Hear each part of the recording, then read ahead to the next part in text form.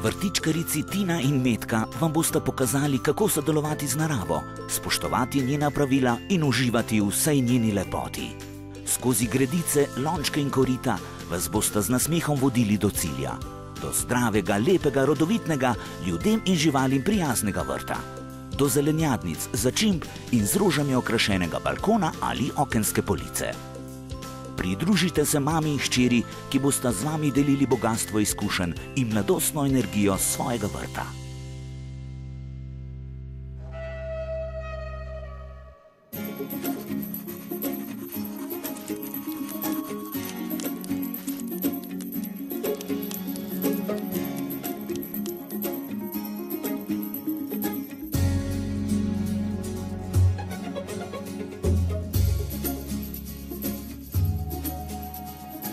Pozdravljeni, dragi moji. Danes boste izvedeli vse skrivnosti o kompostiranju, pili bomo regratovo kavo in si pripravili regratov pesto.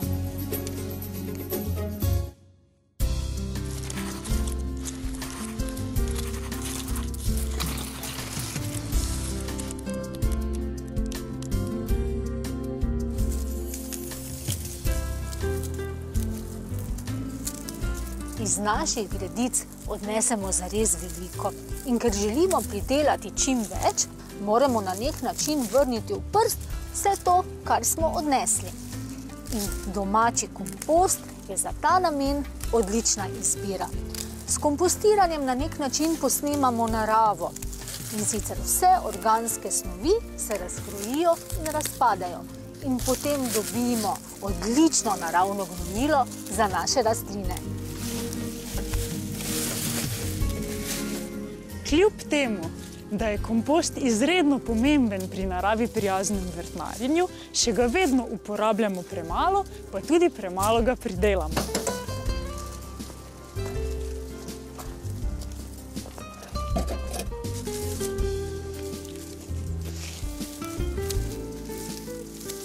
Domač kompost je vedno pri roki, obenem pa nam pomaga pri ohranjanju narave.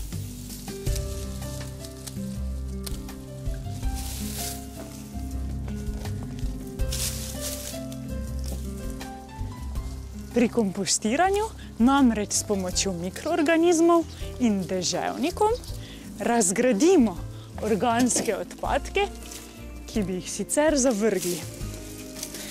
In nastane bogat črn humus.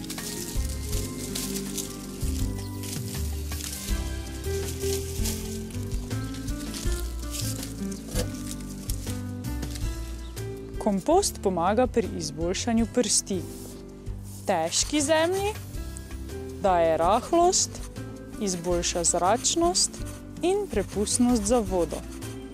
Peščeno zemljo pa naredi bolj bogato s humusom in izboljša sposobnost zadrževanja vode in hranil. Kompost je odlično gnojilo, saj vsebuje hranilne snovi, ki se počasi sproščajo in so na voljo rastlinam.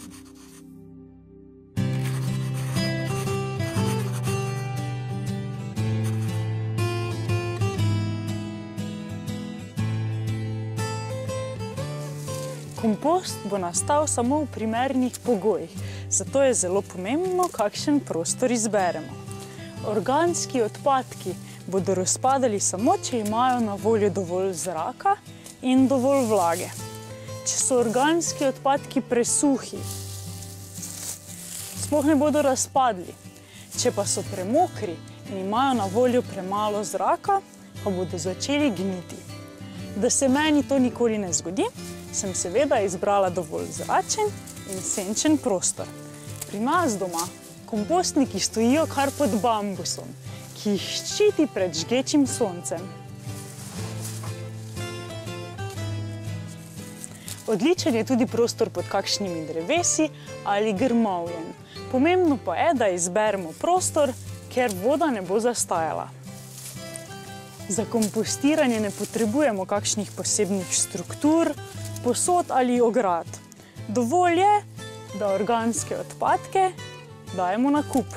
Če pa imate radi malo bolj urejen prostor, tako kot jaz, potem si pomagate s kompostniki. Pri nas doma vrtičkamo skupaj in moški del družine nam je naredil takšne lesene zabojnike. Če pa nimate tako spretnih rok ali časa, pa jih lahko tudi kupite. Obstajajo kompostniki iz različnih materialov, barv in struktur. Izberete pač tistega, ki vam najbolj ustreza. Pri nas doma za lažje kompostiranje uporabljamo dva kompostnika. V prvem zbiramo čez leto organske odpadke, ki jih potem v jeseni ali spomladi premečemo v drugega. Tam pa nastaja končen kompost. Seveda pa lahko postopek časovno prilagodite glede na način kompostiranja in namen uporabe komposta. S premetavanjem pospešimo proces kompostiranja, obenem pa v prvem kompostniku naredimo prostor za nove odpadke. Pravilno oskrbovan kompostni kup nikoli ne smrdi. Smrad nas opozarja, da nekaj ni v redu. To lahko pomeni, da je kompost preveč zbit, vlažen in premalo zračen. Zato pazimo, da dajemo na kup približno enako razmerje mokrih oziroma zelenih odpadkov in suhih oziroma rjavih odpadkov. Po potrebi pa kup prezračimo tako, da ga z vilami rahlo premešamo.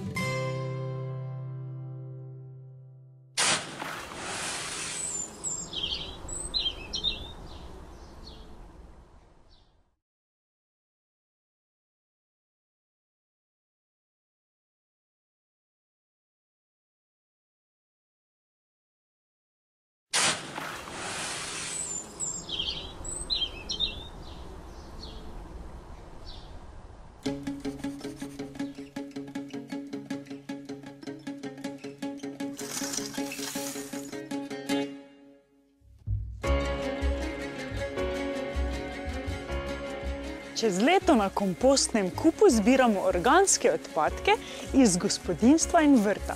Ti odpadki so odlična sestavina za naš domači kompost. Če ne želite, da se vam zamašijo otoki, lahko na kompost dodate tudi čajne in kavne usedline. Med ostale mokre oziroma zelene odpadke pa še sodijo ostanki vrtnin in sadja,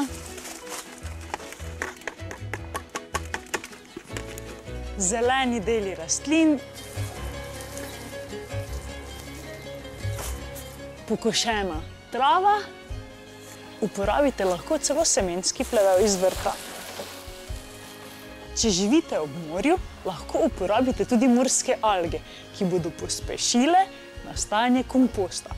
Jaz ne živim ob morju, pa tudi Panonskega morja že dolgo več tukaj ni.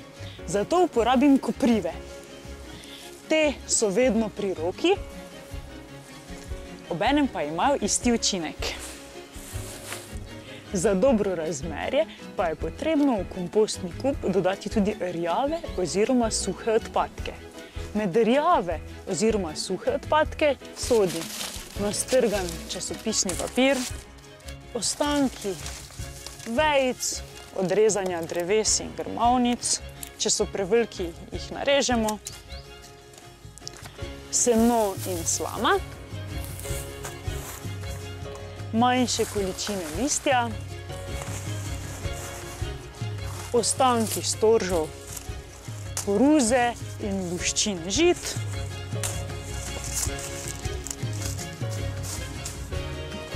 žagovina,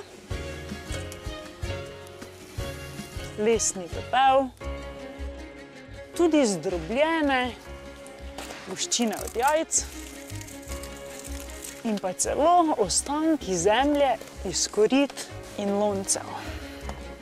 V kompost pa lahko dodate še dlako domačih živali, lase, volno in ostanke blaga, ampak pazite, samo lanenega in bombažnega. V kompostniku pa nikakor ne sodijo stvari, ki se ne razgradijo. Med te sodi plastika, steklo, konzerve, porcelan in keramika, razne barve, laki in strojno olje. Čeprav te stvari ne sodijo na kompost, lahko vseeno nekatere od njih recikliramo.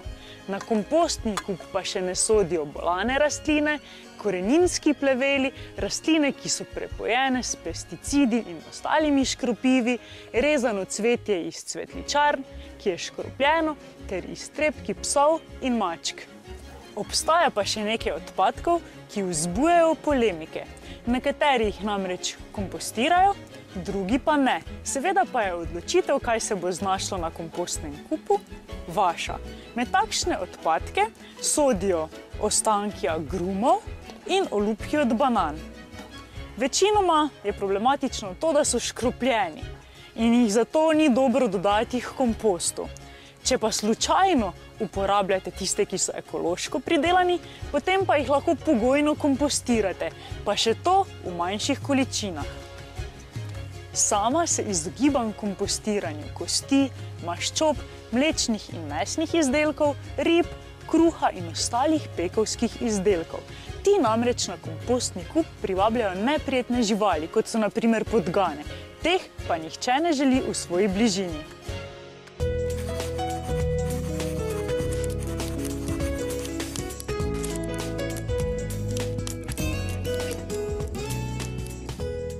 Ne glede na to, kateri postopek uporabljamo, je kompost zrel, ko ima von po prsti. Mm, taki zemeljski von. Takrat več ne vidimo različnih materialov, ki smo jih uporabljali.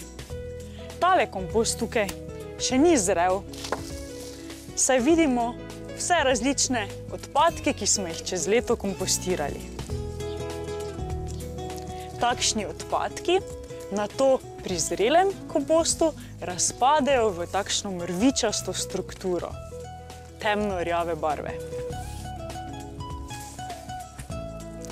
Če zrel kvaliteten kompost stisnemo v kepo, bo nastala takšna stisjena kepa, kot iztisjena spužva, ki nam ne bo razpadla. Če iz takšnega komposta iztisnemo vodo, oziroma če je takšne pacaste strukture, pomeni, da je kompost premoker. Če pa kompost z lahkoto razpade, pa je presuh. Še en znak, kako vemo, da je kompost zrel, je to, da v njem več ni kompostnih deževnikov. Zrel kompost namreč ni dovolj hranljiv za njih, saj se prehranjujejo z razpadlimi odpadki. Če slučajno najdemo kakšnega kompostnega deževnika, ga seveda vrnemo nazaj v kompostni kup. Pred uporabo kompost po potrebi presejemo oziroma iz njega odstranimo vse večje delce, se pravi ostanke vejic, lupin, koreninic ali pa luščin. Kompost lahko uporabljamo za sajenje sobnih rastlin, za setev in vzgojo sadik. Najpogosteje ga raztrosimo po vrtu in ga premešamo med zgornjih 10 cm prsti. Z njim lahko gnojimo tudi trato, drevesa, grmovnice in okrasne rastline.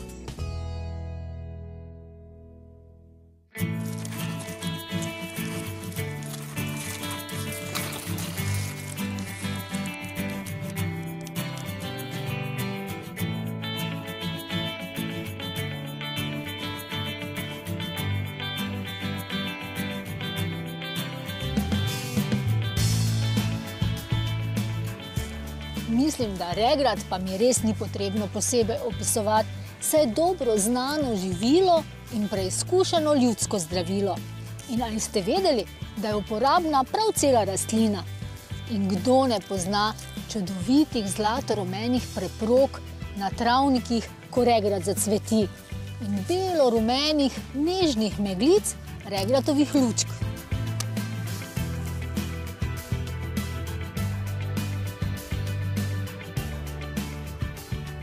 Dobro je poznan kot ena prvih pomladanskih solat.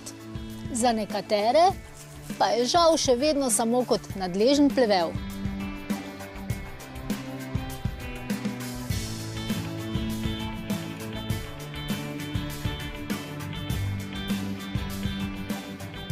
Kar nekaj razlogov je, zakaj se regrat zelo pogosto najde na našem jedilniku. Všeč nam je okus, ima blagodejen in zdravilni učinek na naše zdravje, je brezplačen, povsod dostopen in še nekaj. Ko ga nabiram, sem v naravi in zraven je tudi nekaj rekreacije. Regrat je zares vse stranska rastlina, zato poleg listov nabiram tudi korenine.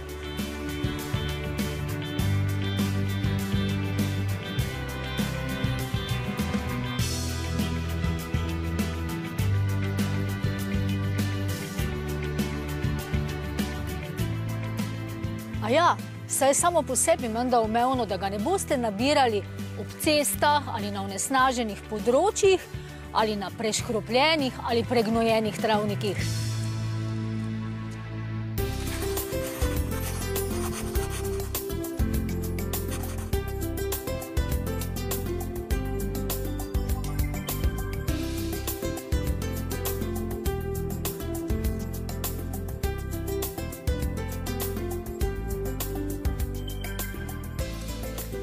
Regrat lahko uživamo na res zelo veliko načinov.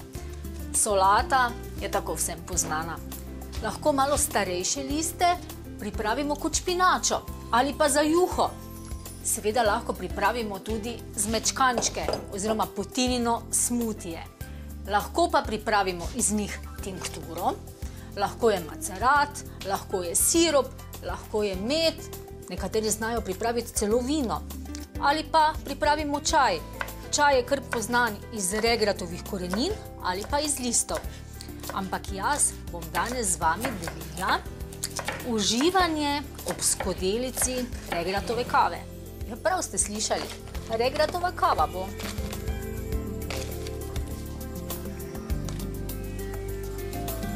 Zato potrebujete korenine, dobro jih je treba oprati, očistiti in nekoliko posušiti. Potem pa jih narežete na takšne kolebarje. Regratova kava razstruplja in nas okrepča. Zato je zelo primerna za pomladanski čas.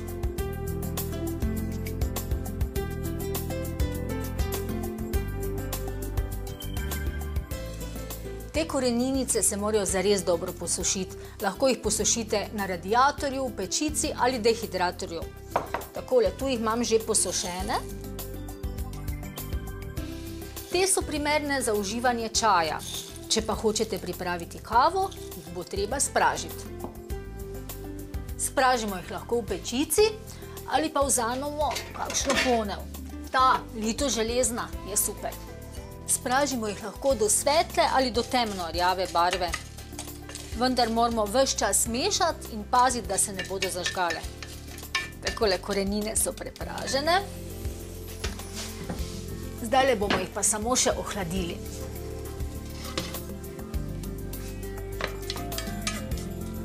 Tako medtem, ko se bodo pa ohladile, bom pa pristavila vodo za kavo.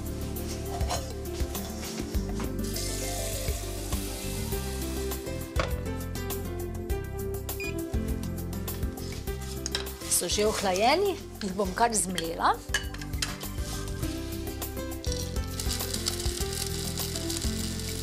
Čisto po kavi diši.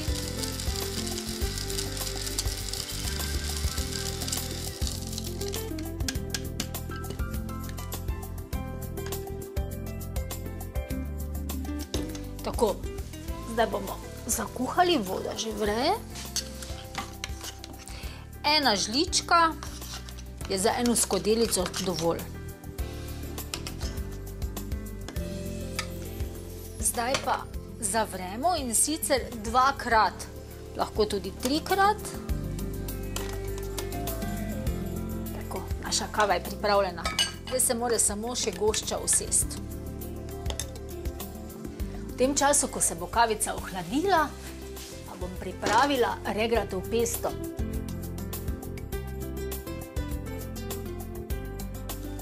Eno veliko pest listkov. Oljčno olje bomo dodali, pa strok česna.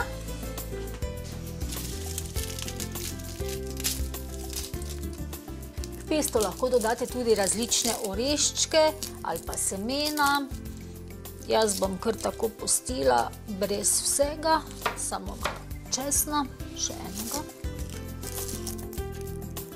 Nekateri pa dodajo tudi parmezan, ampak jaz bom rajši ga kar posipala potem po že narejenih testeninah.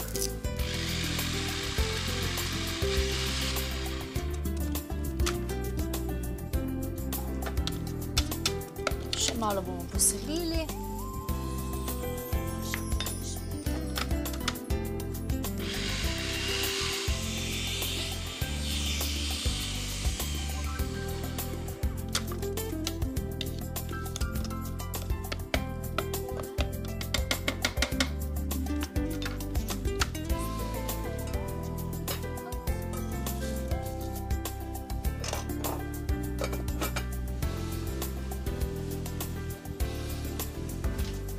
Malo še samo zmeljem.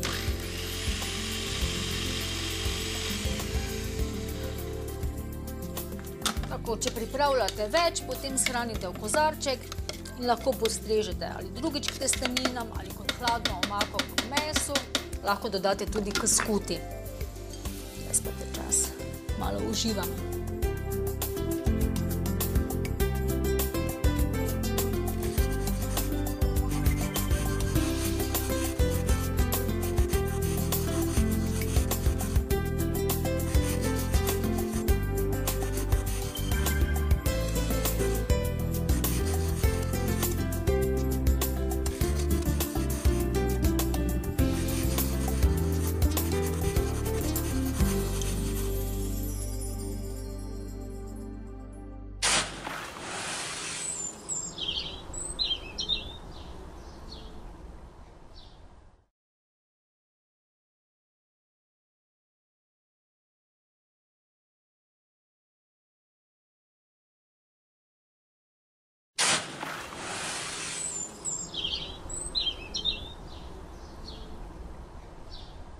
Pesto je pripravljen, testenine so skuhane, Tina bo vsak čas prišla.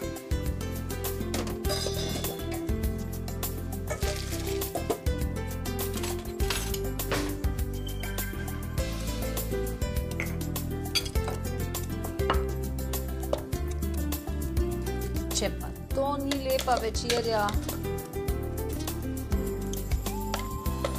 še malo parmezana je na riba.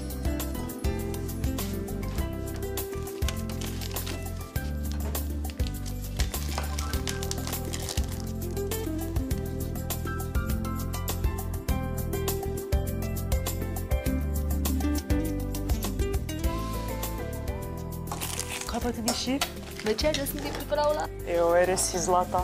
Kaj je to, mami? Regrato pesto, izvoli samo za tebe. Mm. Veš, kaj imam pa jaz? Regratovo kavo.